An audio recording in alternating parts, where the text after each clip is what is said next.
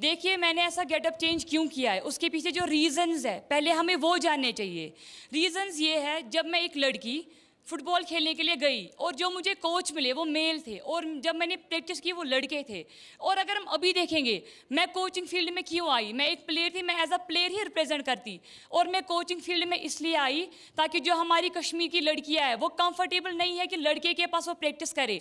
और मैंने स्टार्ट किया कि मैं अपनी अकेडमी खोलूँ, मैं अपनी कोचिंग लाइसेंस करूँ और मेरी तरह किसी लड़की को चेंज ना करना पड़े। देखिए, कितनी अच्छी सोच थी।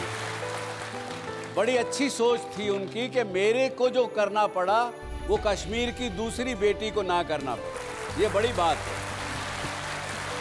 नादिया से हम आगे सवाल पूछें, एक छोटा सा ब्रेक।